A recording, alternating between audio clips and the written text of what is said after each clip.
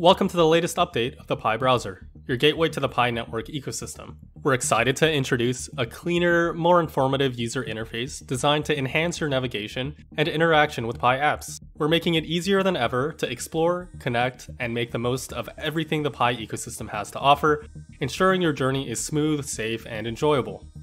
First up, our revamped UI makes exploring the Pi ecosystem a breeze. When you're accessing core team apps, which all have purple frames, or discovering community apps, which all have white frames, you'll find specific icons and drop-down descriptions guiding you through our rich and interconnected ecosystem.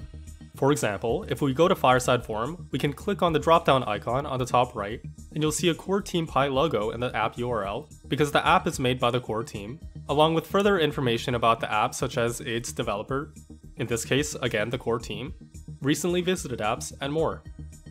The new logo icon in the URL is a key new security feature because it will automatically change based on if the app is made by the core team, community developers for verified or unverified apps, or outside websites with no integration on the Pi platform.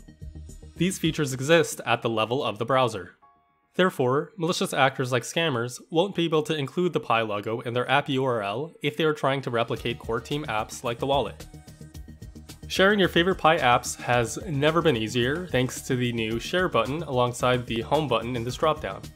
Also, an update in the near future will change all Pi browser URLs to pinet.com domains, so all Pi browser pages can then be shared with anyone in the world.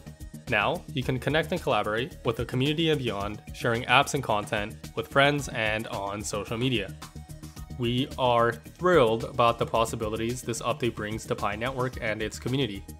Join us in exploring the new Pi browser design and experience a more secure, user-friendly, and connected ecosystem. If you haven't already, download the Pi browser app on the iOS App Store or Google Play Store.